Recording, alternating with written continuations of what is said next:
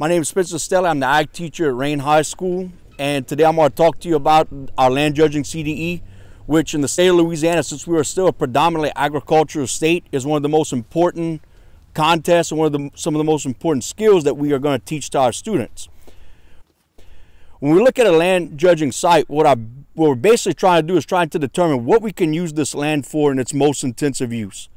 For example, we grade land on the scale from classes 1 to 8 with the higher the, the lower the number of the class, the more ideal for farmland and for agricultural use we can use it.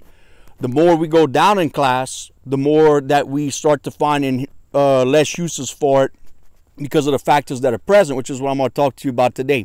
Each factor can teach a student how to survey a land site, not only from an agricultural standpoint, but also from a homestead standpoint as well, to know what kind of soil and uh, different uh, factors that they have to take in when actually developing a home site as well. So I'll take you through a couple of those things real quick and we'll tell you about them. The first thing we teach our students how to do is actually how to look at the actual texture uh, that what they're dealing with.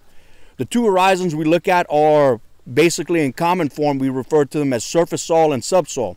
Surface soil is very important because that's the most mineral rich and we want to try to keep that as much as we can. So if you look in our pit here, you can actually see that we have a difference in layer a gray layer and a red layer of soil. And two things we're going to determine. We're going to determine what type of soil we have in that top layer, that gray layer. We're going to determine what kind of soils we have in that bottom layer. When we look at this site, we actually find that we have a looser silt type soil on the top with more of a clay-based soil on the bottom. And this is very common in Louisiana. It's one of the more common uh, ways we see soil stacked in Louisiana with that silt being very mineral rich and we want to try to keep a lot of it. Here on our card, the students are actually told, and we look at erosion as a factor, how much of that topsoil we're losing. They're actually told that originally there were five inches of that topsoil present.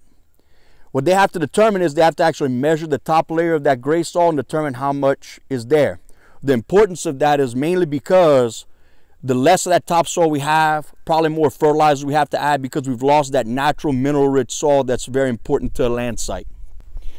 Another thing we're going to look at here on the site is definitely slope because from an agricultural standpoint, the more slope we have, the harder it is to develop a row crop or to actually break and make rows to do production agriculture.